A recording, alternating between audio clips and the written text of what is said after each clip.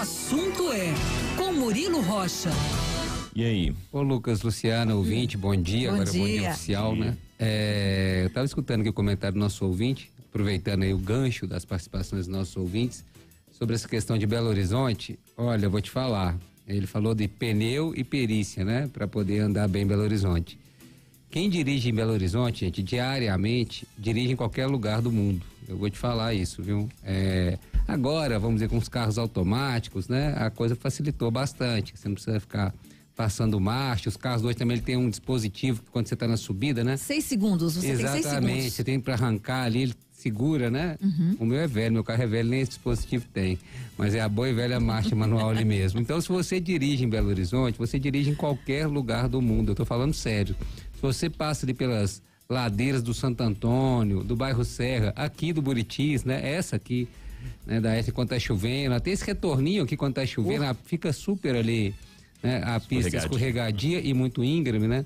Então, e, e assim, eu já morei em Brasília e quando eu vim, ficava muito tempo em Brasília e vinha dirigir aqui, eu até estranhava, porque lá você praticamente, essa coisa que controle de embreagem, isso não existe em Brasília, né? Você não faz controle de embreagem aqui, você tem que aprender isso. Hoje, como eu disse, esses carros automáticos, né?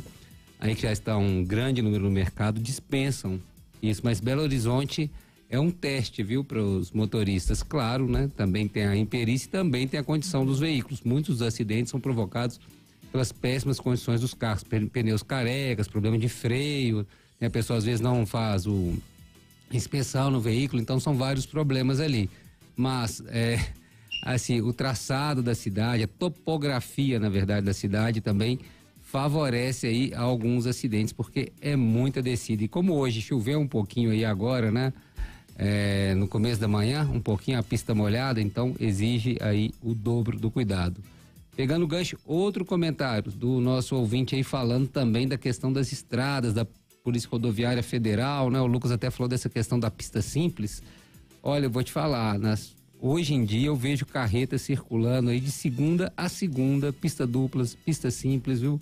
Acho que assim, né, teria que ter realmente, concordo com uma fiscalização maior. Nem sei precisamente como é essa legislação, mas é assim, antes você lembra aquele negócio? Não, viaja no feriado, viaja no domingo, que o trânsito é menor, tem menos caminhão. Isso já era, gente.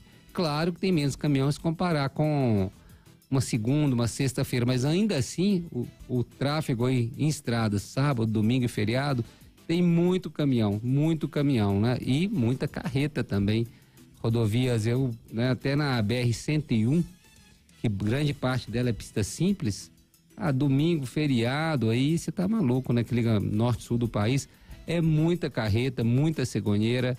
É uma questão impressionante. E vale, então, acho que esse chamado aí do nosso ouvinte, essa alerta do nosso ouvinte, realmente.